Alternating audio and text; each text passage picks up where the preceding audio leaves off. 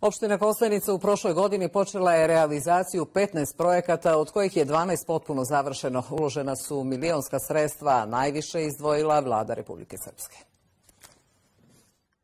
Regulacija korita rijeke Tavije, koja je prilikom mobilnijih padavina plavila domaćinstva, najznačajniji je projekat koji je završen.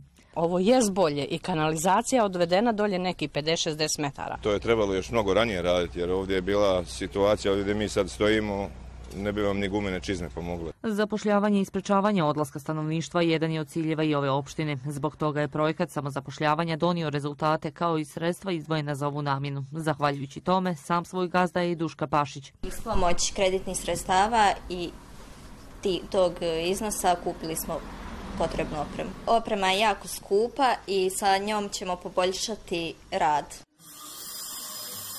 Od opštine smo za sad dobili 5000 sredstava. U sljedećem narednom periodu očekujemo drugi dio sredstava. Od 15 započetih u prošloj godini završeno je 12 projekata. Realizovani su najvećim dijelom zahvaljujući sredstvima vlade Republike Srpske, dok je dio novca obezbjeđen iz opštinskog budžeta, ali i sredstava pomoći vlade Srbije.